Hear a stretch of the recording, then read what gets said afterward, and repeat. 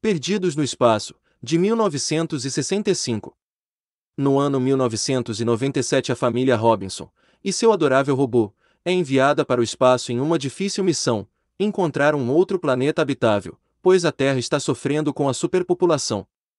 Mas a família acaba tendo problemas com a nave e ficando presa no espaço, sem destino. Agora eles precisam completar a missão ou pelo menos conseguir voltar para casa.